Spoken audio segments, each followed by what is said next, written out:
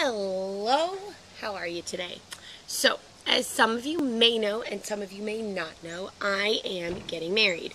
And this then puts on the daunting for some people and exciting for others task of planning a wedding and all that stuff. I'm not here to talk about that. I'm here to talk to you about getting rid of the side boob fat. I tried on a wedding dress the other day and it wasn't the right size and it wasn't the right fit However, my worst nightmare came true with it.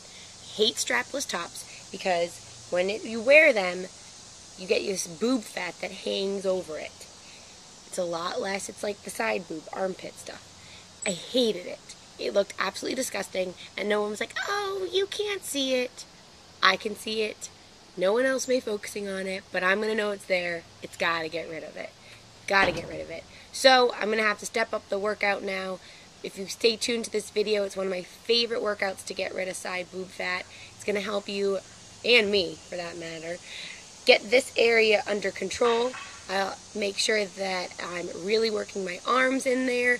It's going to be a chest workout, total upper body workout that's going to help you get rid of side boob fat. Stay tuned for the video. It's one quick workout that is a part of my Women's Arm Secrets workout program that you can find in the link below this video.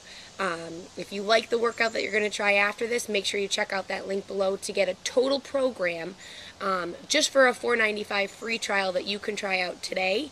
Um, that's going to help you get rid of that side boob fat and get toned, especially if, for instance, like me, you're planning a wedding, or if you just want to look good in a strapless top or a tank top. So, check out the workout. If you like it, click the link below and get Women's Arm Secrets to test that product and that program out today. Talk to you guys soon.